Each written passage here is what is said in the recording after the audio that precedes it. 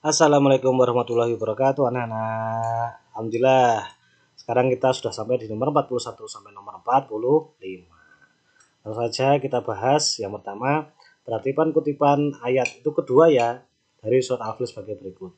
Alam yaj'al kaidahum fi tadlil. Tulislah pokok dari atas tersebut Ingat pokok bukan arti ya. Artinya adalah Bukankah dia telah menjadikan tipu daya mereka itu sia-sia?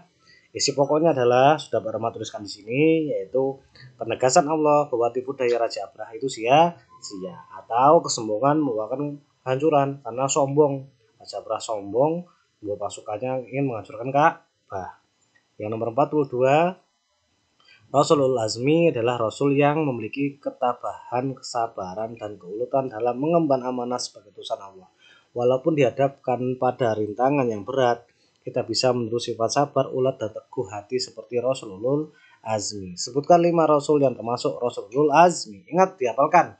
Ni Mim, Nuh. N itu Nuh, I Ibrahim, M Musa, I Isa, dan M terakhir Nabi Muhammad. Hmm. Ni Mim. N Nabi Nuh. Oh sebentar Pak Romat saja biar enggak baru ulangi tak beramat kasih warna kuning saja. Ya. Ini mim. N nya Nuh. I nya Ibrahim. M nya Musa. I nya lagi Isa. Dan m yang terakhir Muhammad. Ada yang anak-anak ke mana Pak kalau mimin gimana? Boleh mimin. Yang penting betul jawabannya. Dan 43 Allah Subhanahu wa taala telah menurunkan kitab suci kepada Rasul. Hal ini sebagai petunjuk bagi manusia melalui Rasulnya dari hidupnya selalu menuju kepada kebenaran dan terhindar dari kesalahan. Dari deskripsi di atas disebutkan nama kitab suci dan Rasul penerimanya adalah nama-nama ada kitab suci Jabur diterima oleh Nabi Daud, kitab Taurat diterima oleh Nabi Musa dan Injil kepada Nabi Isa yang terakhir Al-Quran kepada Nabi Muhammad Shallallahu Alaihi Wasallam. Ingat jangan tertukar. Paromat ulangi Zabur itu diterima kepada Nabi Daud, kitab suci Taurat diterima oleh Nabi Musa, dan kitab Injil kepada Nabi Isa dan terakhir Al-Quran kepada Nabi Muhammad Shallallahu Alaihi Wasallam ada empat. Dan nomor 44 Pak besarkan mengeluarkan zakat adalah wajib bagi umat Islam yang mampu. Kewajiban umat Islam bukan hanya mengeluarkan zakat fitrah pada bulan Ramadan atau menjelang Idul Fitri, tapi mengeluarkan zakat mal atau zakat harta jika telah mencapai batas atau hisap atau nisab suatu tertentu dalam satu tahun itu harus juga harus dibayarkan.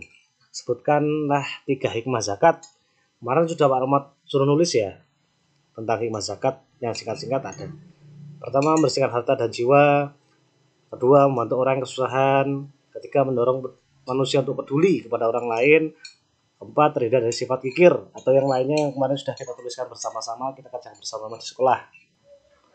Baik, nomor 45 itu tentang sifat atau sikap Rasulullah SAW tentang uh, suatu hal yang akan diceritakan dalam 45 bisa kejujurannya, bisa amanahnya, atau bisa yang lainnya. Kalau di sini tentang sikap perilaku peduli terhadap lingkungannya. Bisa juga peduli kepada orang lain. Jadi harus jelas nanti menjawabnya. Karena yang ditanya adalah menjaga sikap perilaku peduli terhadap lingkungannya, berarti menjawabnya sesuai ini. Di sini Pak Roma contohkan agar terjadi keseimbangan antara manusia, hewan, dan tumbuhan dan alam sekitar. Karena tidak sedikit bencana alam timbul akibat ulah rakus perbuatan manusia yang lalai terhadap menjaga keseimbangannya. Baik anak-anak, Alhamdulillah nomor 41 dan 45 sudah kita bahas. Semoga dapat menjadi ilmu untuk anak-anak. Nanti yang masih bingung bisa WA Pak Romat. Pak, ini tanya. Boleh, insya Allah Pak Pak Romat balas dengan sebaik-baiknya. Kalam, semoga besok anak-anak mendapatkan nilai yang bagus dalam ujian. Pak Romat tutup. Wassalamualaikum warahmatullahi wabarakatuh.